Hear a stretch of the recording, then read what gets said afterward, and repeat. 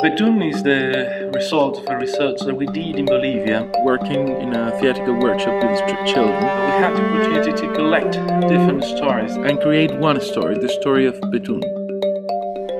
The reality of street children is horrible, it's unstandable. In order to turn it theatrical, it has to become poetic, metaphorical, dark, scary, but beautiful in somehow.